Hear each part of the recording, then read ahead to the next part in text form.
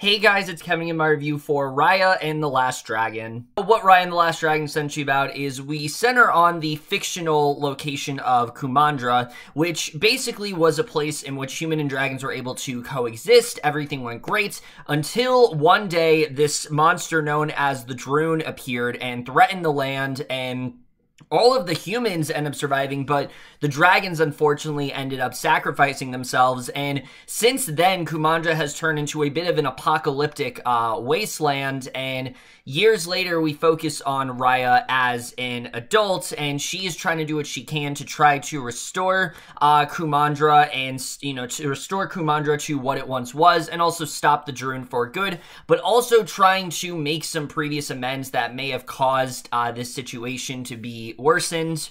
So Raya and the Last Dragon, I was very excited uh, for this film. I mean, anytime a Disney animated film comes out, I'm mostly on board. Uh, most of the time, they turn out to be really great, and this one especially, it seemed like something really different. You know, it seemed like something we don't normally get.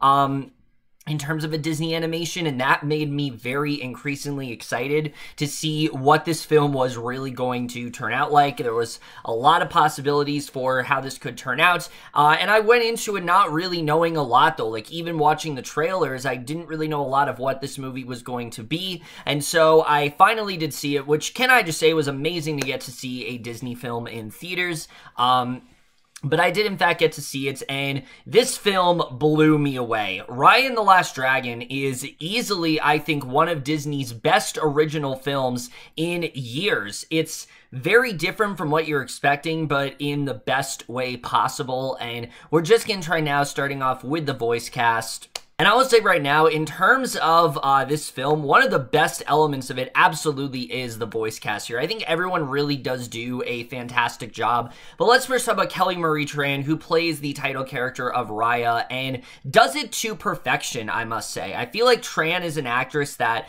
really hasn't been able to showcase her full talents yet. You know, obviously, she's most known for being Rose in Star Wars and also retroactively getting shut out of that franchise entirely. Um, so you know, her doing something like this uh, had me very excited, and she really kills it in this role. Raya is someone that is very determined. You can see that she's someone that wants to be this hero. She wants to restore peace. She has this faith in her that a lot of characters just don't, and it radiates throughout the entire um, film. And I think Tran just does such a great job. And, you know, Tran's. Um, Tran's performance really does uh, heighten Raya's likability as a character. And I really like what she ended up doing here. She was fun, she was funny, she was badass, and just all around what you want in a great lead for this film. And overall, I think Tran really demonstrated that she does have a real future, I think, as a voice actress. Between this and The Croods New Age, I really do think this is where she shines. I really do want to see her do more voice work. I think she does a really great job. She's a great actress regardless, but voice work, I think, really really is where her strong suit is. And I really hope she continues to take roles like this on because she definitely knows what she's doing. And I, I really like what she ended up doing in this film. And then Awkwafina, who plays Sisu, uh, a much different role than I was expecting. Yes, this is definitely the comedic relief at points. Sisu's a character that, you know, um, because of the fact that she is the last dragon that's been left, all of the powers that her uh siblings had you know all the other dragons like she um ex- she exhumes them in some way. She gets to showcase all these different abilities and that really does play into the comedy of her character but also, Awkwafina does a great job in giving this character actual layers, and I really did like seeing that. The bond between Sisu and Raya is very strong. It's one of the most important parts of the entire movie, and they really do a great job, I think, at really solidifying just how important that bond really is. And I think Awkwafina was just perfectly cast her overall. I was very impressed by what she ended up doing in this film. Far as the rest of the cast goes, I think everyone does a really great job. Gemma Chan gives one of the best performances I've seen from a Disney villain in quite some time. Namaari is very terrifying at points um, because she is a real drive as a character. There's a real motivation for her for what she's doing, you know, why she's doing what she's doing, and Chan just kills it in this role. She's really someone that you detest at points, but you also understand, you know, her motivation and I think Chan plays that so well here. Izaac Wang I thought did a really good job as a character of Boun. He is this 10-year-old that he's also kind of like on his own. He's developed this like shrimp business and he is such a fun character. Wang does such a great job here. Benedict Wong I thought did a great job in this film. Sandra Oh, um, Alan Tudyk even as Tuk Tuk. I mean, these are the roles that Tudyk does such a great job with in Disney are these, you know, silent animal type characters and he is is just delightful in this role. Really, this entire voice cast, everyone really does kill it. I don't think there's a weak link within the entire cast, and that's definitely the thing that really elevates this film for me. But now let's get to the directing and the writing because that is the other thing I really do have to commend when it comes to this film. I mean, looking at the directors, they're not what you would expect to be for a Disney animated film. Like, yes, Don Hall has done um, Disney related stuff before. He, you know, he's done some stuff for uh, Frozen 2, Ralph Breaks the Internet. He's done some storyboards here and there. Um, but he hasn't, and he did the screenplay for Meet the Robinsons as well as uh, Tarzan and Moana. Um, but this is really the first time he's directed something, and he does a really good job with that. And then you couple that with someone like Carlos Lopez Estrada, you know, the director of Blindspotting, not someone I would ever expect to direct a Disney animated film. And it really goes hand in hand because while Hall does a really good job of representing the whimsical and fun side of this movie, Estrada is responsible for the more mature tone of this film. In fact, I would go to say this is probably one of Disney's darkest films they've ever made. And it's mainly because the way Estrada goes about it. They take this material very seriously. Don't get me wrong, there's a lot of funny moments throughout this movie, but when it comes to the darker side of this film, it really does go for it. And I think it's again because of how well both of these directors really work together in tandem, both finding things that'll appeal to kids but also appeal to adults. And i think the directing is just spot on in that way. And i was very impressed by what they end up doing here. And i don't know if estrada has a future in animation but he really does prove with this film he's a very versatile director. He really can take on anything at this point. And i'm really excited to see what he ends up doing next because again i, I would have never expected him to be involved with something like this but he is and he really does do a great job with it, and I really loved his directing in this film. Definitely, I think some of the most unique directing I've seen in a film in quite some time. I mean, the best way to sum this up is that it's both this very whimsical it's both this very like fantastical adventure but it also at points feels like a you know like mma film. There's a lot of combat in this movie and i think the directing here it's just it's done in a really um, impressive manner and I, I really like what he ended up doing here. But the writing in this film that's the other thing that really does um, impress me when it comes to this movie because the screenplay to this film is very complex complex. I will say that right off the bat. There's a lot you don't know going into this movie, and I really do love how much they were able to hide because, yes,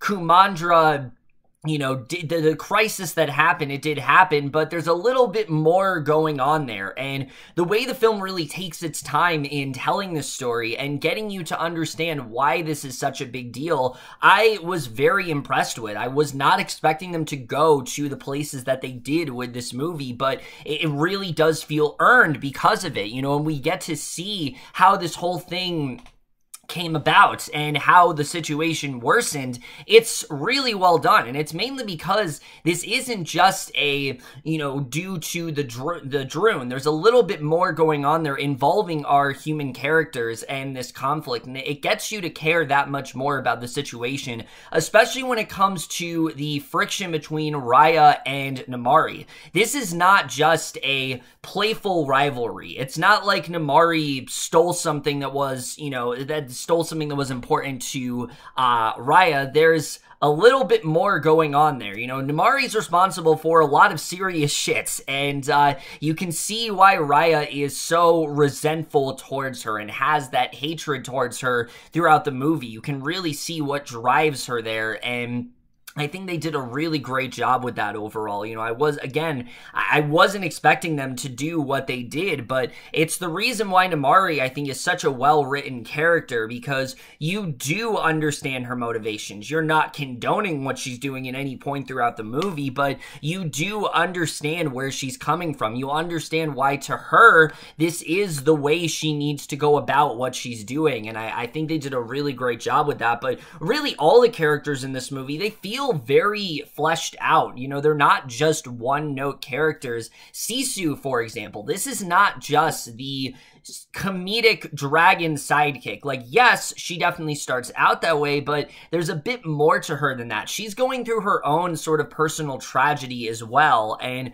you really do get to dive deep into her character, and also something that makes her and Raya very similar. There's a very there there's definitely a lot of similarities to these two characters and you can understand why they really do need each other in that scenario and i think that's something else that the film dives into very well here. All of these characters you know the specific situation that they're going through it's really well fleshed out more than you really would expect it to be and that's something i really appreciate about this movie. Every single character here they have some kind of goal. They've all lost something and they're all dealing with it in different ways and and I really liked getting to see us actually diving into their plight. You know, this isn't one of those things where they'll just bring it up once. Like, no, there is something that is eating away at these characters throughout the entire movie. And that's something that I was really impressed by them doing. And it's it's one of the reasons why, like I said, I think this is probably one of the more adult Disney films we've had in quite a bit because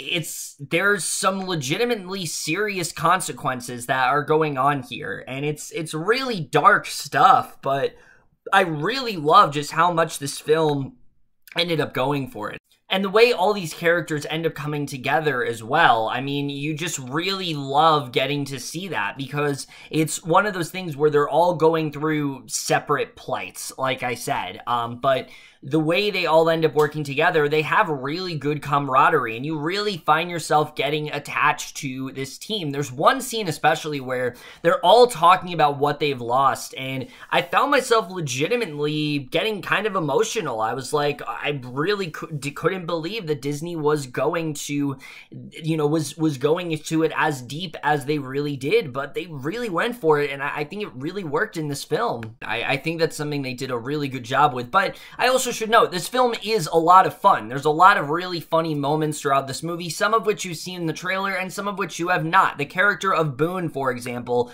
Again, this is just a kid that has started this whole shrimp business, and you think that's gonna get old after a while, but it doesn't, and it's because of the fact that they find ways to get you to still like his character. Sisu, also, there's this running gag where she finds a way to have all of the powers that her previous, you know, siblings did because all the other dragons have died out and Sisu is the only one that's left alive. And the cool thing is they do something different with it every single time. So they find ways to keep you entertained. I think you will be just as entertained as you are riveted by this story. And I think that's something they did a really great job with overall. And again, the way they really dive deep into that conflict and what really is driving everyone, I think is so well done here. But the animation in this film as well, I mean, it's Disney, so you expect it to be really good. But seriously, the world building especially is so well done in this movie and that's something that I, I really did end up appreciating. I love the way this film looks especially